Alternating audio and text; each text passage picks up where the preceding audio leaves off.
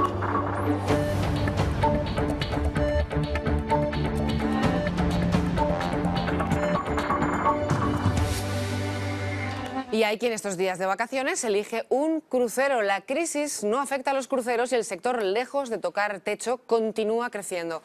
El puerto de Barcelona es el primero de Europa y el quinto en el mundo con mayor número de cruceristas. Estos días el trajín en las terminales es constante. Además, hay cada vez más madrileños que optan por este tipo de vacaciones.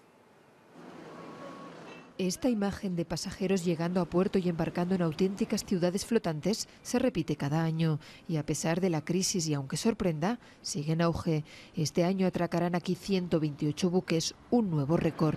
El puerto de Barcelona es el de mayor tráfico en Europa. Y además últimamente como se está produciendo un proceso de precios más asequibles, es tremendo como el crecimiento está siendo muy intenso en este tipo de cruceros. El viajero busca más cercanía, menor coste y por eso la la ruta por el Mediterráneo es la gran beneficiada, eso sí, sin renunciar a la exclusividad y al trato personalizado. Entren, por favor. Aquí no falta ningún detalle, amplios camarotes, la mayoría con balcón, diversas piscinas y restaurantes, teatros, casinos y hasta canchas de tenis, gimnasio o spa. En cruceros como este hay pasajeros de 50 nacionalidades distintas, pero si hace unos años la mayoría eran estadounidenses, ahora empatan con los españoles. Encontramos muchos madrileños. Vas a una ciudad diferente, visitas países diferentes y la verdad es que es muy cómodo.